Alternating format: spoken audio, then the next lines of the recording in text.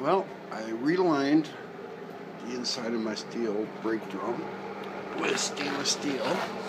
It's been running for 30 minutes now and it's maintaining the heat.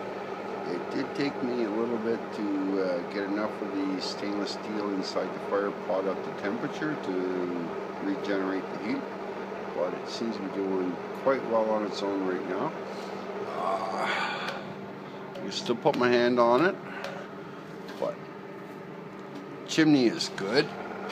Still quite warm. Uh, looks like, I'll just go outside here. There we go.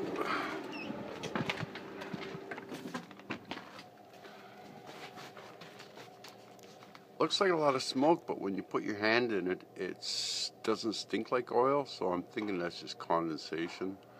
Uh, I've never had the barrel up to temperature yet, so I'm thinking there's a lot of moisture still in the steel from all the welding and stuff done. But, uh, yeah. The tall one is the uh, rocket stove, the short one is the uh, oil stove.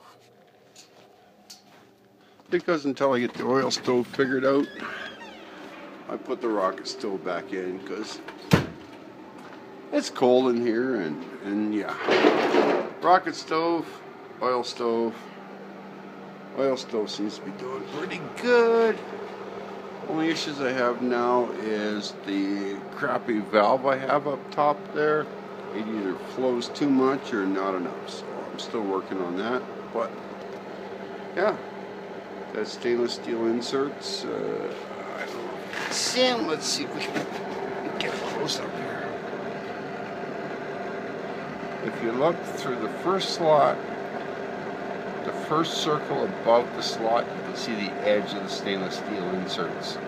And they're basically just, I just uh, welded them, tacked them all the way around the inside of the burner pot. So they're like three and a half, four inches high all the way around. And they really seem to be.